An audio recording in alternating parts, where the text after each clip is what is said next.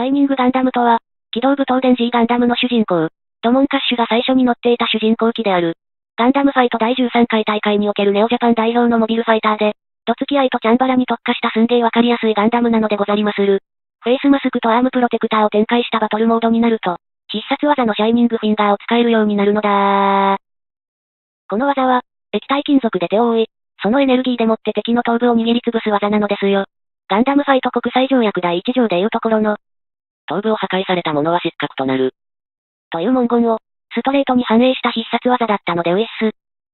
ドモンの怒りの感情が高ぶることでスーパーモードが発動すると、さらに機体性能が向上してたんだけど、怒りのスーパーモードは強敵には通じねえ。シュバルツのアドバイスで、錆びた刀を振り回してたらなんやかんやで明鏡止水を得とく。真の力を発揮したスーパーモードにより、東方腐敗のマスターガンダムどころか、デビルガンダムさえも圧倒したのだしかーし、ドモンの扱いが荒かったため、シャイニングガンダムの機体はとうとう限界を迎えちゃったのですよ。ゴッドガンダムに機体データを移植するシーンは、シャイニングガンダムにまるで意志があるようだとファンがうなった名シーンだったんだい。でもね役目を終えたシャイニングガンダムは回収されずに、ギアナコーチに置いていかれちゃったのでありんす。後期オープニングのシャイニングガンダムのカットがわびしかったねキットの値段は500円と据え、1994年の発売だったのさ。最新のキットとの違いは、ギミックが少ないんでその分すんげー丈夫なことと、ボディのブルーが暗めのブルーって点だよね。最近のやつは明るいブルーになってきたからね。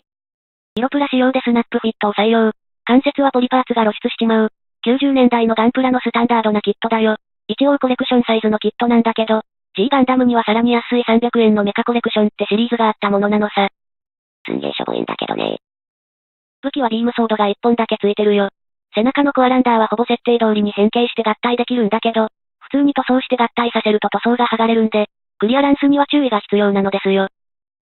このキットの売りは、フェイスマスクとアームプロテクターを展開したバトルモードを差し替えで再現できる点なんだけど、残念ながら、シャイニングフィンガーは再現できないのだーしかも、スーパーモードも再現できねえんだよ。参ったねスーパーモードを再現できなくちゃ意味ねえじゃん。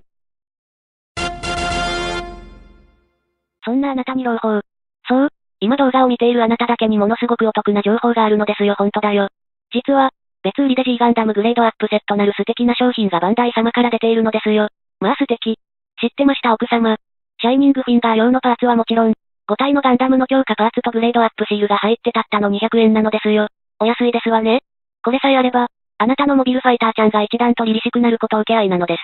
素敵ですわねー。とは言っても、今は入手困難なんでプレミアついちゃってるのが悲しいね。悪特典版やから買うより、ハイグレード版を買った方が安いんだよね。